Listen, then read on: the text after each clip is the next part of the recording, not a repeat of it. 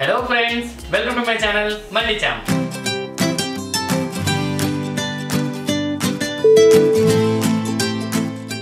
మన మల్టీ ఛాంప్లో ఇవాల్టి special save ఏంటబ్బా సేవ్ అనుకున్నారా? కాదండోయ్. కాస్త డిఫరెంట్గా దీన్ని కొన్ని కొన్ని చిట్కాలు యూస్ చేసి డిఫరెంట్ స్టైల్లో సేవ్ని అదేనండి మన టొమాటో సేవ్ ఎలా తయారు చేసుకోవాలో చూసేద్దాం రండి. ముందుగా రెండు మీడియం సైజ్ తరిగిన టొమాటోలని ఇలా తీసుకోవాలి? బాగా మగ్గిన టమాటోలను తీసుకోండి.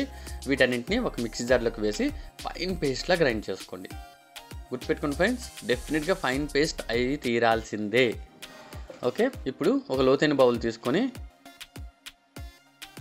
ఇలాంటి జాలి ఒకటి పెట్టుకొని మనం ముందుగా రెడీ చేసుకున్న ప్యూరిని ఇందులో వేసుకొని దాంట్లో ఉన్న తొక్కు అంతా పోయే వరకు చక్కగా వడపోసుకోండి. ఇలా తొక్కు పోయే వరకు వడపోసుకోవటం వలన ఏంటంటే మన ప్యూరీలో ఏమీ ఉండదు అండ్ మన సేవ్ కూడా చక్కగా ఫ్రీగా పడుతుంది. కాబట్టి ఈ తొక్కు అంతా ఇలా తీసేసుకోండి. చూడండి ఫ్రెండ్స్ నలకలన్నీ వచ్చేసాయి కదా. వీటన్నిటిని తీసి పక్కన పెట్టుకుందాం. చూసాగా మంచి ప్యూరీ ఫైన్ ప్యూరీ అంతా రెడీ అయింది. ఇప్పుడు ఇందులో టేస్ట్కి సరిపడంత ఉప్పు హాఫ్ టీ స్పూన్ కారం. మీకు ఇంకా కారం ఎక్కువ కావాలంటే కొంచెం వేసుకోండి. కానీ మరీ కారం ఎక్కువ వేసుకోవటం వలన అసలు బాగుండదండి. సేవ్ అనేది కలర్ బాగా మాడిపోయినట్లు వస్తుంది. కాస్త కారం లిమిటెడ్గానే వేసుకోండి. ఇప్పుడు ఈ రెండు ఇంగ్రీడియంట్స్ వేసుకున్నాక చక్కగా కలిపేసుకోండి.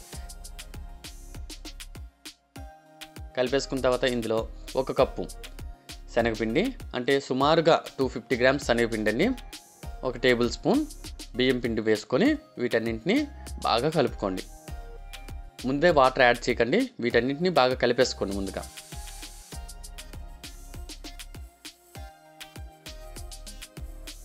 ఇలా కలిపేసుకున్నాం కదా.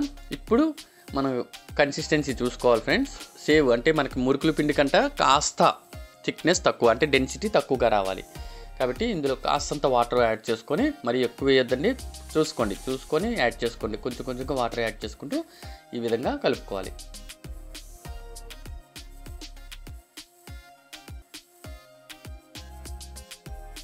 చూడండి ఫ్రెండ్స్ మన సేవ్ పిండి అనేది ఈ కన్సిస్టెన్సీలో ఉండాలి. ఓకే ఇవన్నీ బాగా కలుపుకున్న తర్వాత ఇప్పుడు మనం సేవ్ని తయారు చేసుకుందాం. ఈ సేవ్ని తయారు చేసుకోవడానికి ఒక మురుకులు కొట్టండి ఆయిల్తో గ్రీస్ చేసుకొని చూడండి ఈ విధంగా చిన్న చిన్న రంధ్రాలు ఉన్నాయి మురుకులు గొట్టం తీసుకోవాలి. ఇప్పుడు దీన్ని ఆయిల్తో బాగా గ్రీస్ చేసేసుకోండి. గ్రీస్ చేసుకొని కొంచెం కొంచెంగా పిండిని తీసుకొని దీంట్లో ఫిల్ చేసుకోవాలి.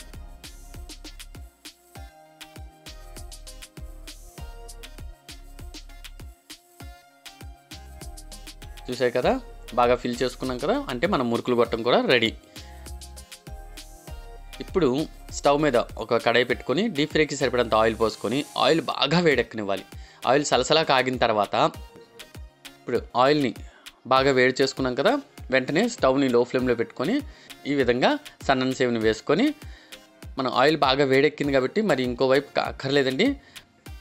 ఇది సన్నగా ఉంటుంది కాబట్టి తొందరగా వేగిపోతుంది. ఇప్పుడు ఎక్సెస్ ఆయిల్ మొత్తం డ్రైన్ చేసుకున్న తర్వాత ఒక టిష్యూ నాప్కిన్ ప్లేట్లోకి తీసేసుకుందాం.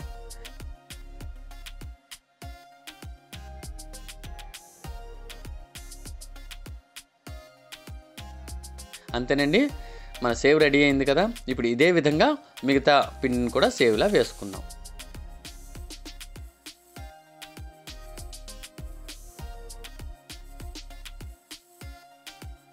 ఇలా వేసుకున్న సేవ్ అంతటిని అదే ప్లేట్లోకి తీసేసుకుందాం.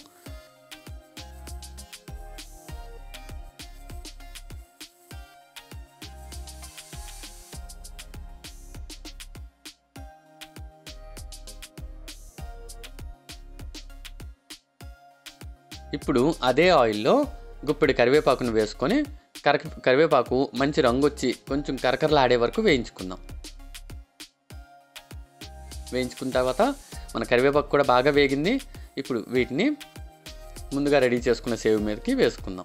ఈ కరివేపాకు వేసుకోవటం మూలనండి మన సేవ్కి మంచి ఫ్లేవర్ వస్తుంది. ఓకే? ఇన్ దీని మీద కాస్తంత చాట్ మసాలా. చూసారుగా? చాట్ మసాలా లేకపోతే మీరు స్కిప్ చేయొచ్చు. రాక్ సాల్ట్ కూడా వేసుకోవచ్చు. ఓకే ఈ చాట్ మసాలాను చిలకరించండి అంతేనండి. ఎంతో రుచికరమైన టొమాటో సేవ్ రెడీ. ఎప్పుడు తినే సేవ్ కంటే ఇది కాస్త డిఫరెంట్గా ఉంటుంది. పిల్లలైతే భలే ఎంజాయ్ చేస్తారండి. ఈవినింగ్ టీ టైం స్నాక్గా. సూపర్ సూపర్గా ఉంటుంది. నా మాట విని ఒక్కసారి డెఫినెట్గా ట్రై చేసి మీకు ఎలా కుదిరిందో మా కామెంట్ సెక్షన్లో తప్పకుండా తెలియజేయండి.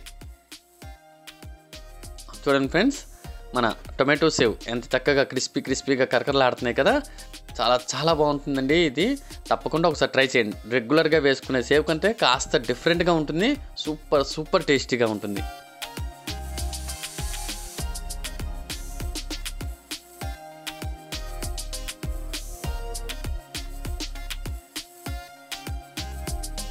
మీకు కనుక ఈ వీడియో నచ్చినట్లయితే సబ్స్క్రైబ్ చేయండి షేర్ చేయండి అండ్ లైక్ చేయండి. దాంతోపాటు బెల్ ఐకాన్ డెఫినెట్గా ప్రెస్ చేయండి thank you friends bye bye